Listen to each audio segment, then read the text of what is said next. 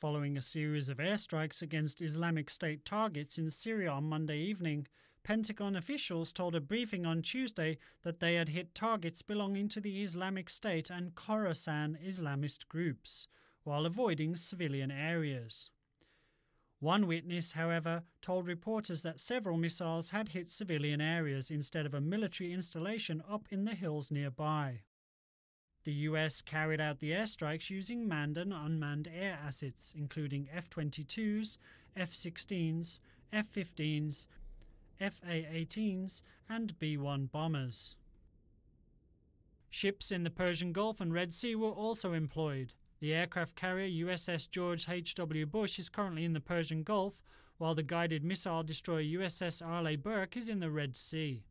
The bombing began at approximately 3:30 a.m. on Tuesday with targets including Islamic State installations in and around the Syrian city of Raqqa.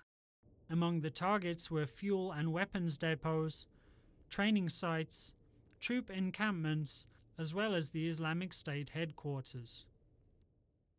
According to the Syrian Observatory for Human Rights, which monitors conflicts in the country, dozens of Islamic State fighters were killed in the airstrikes.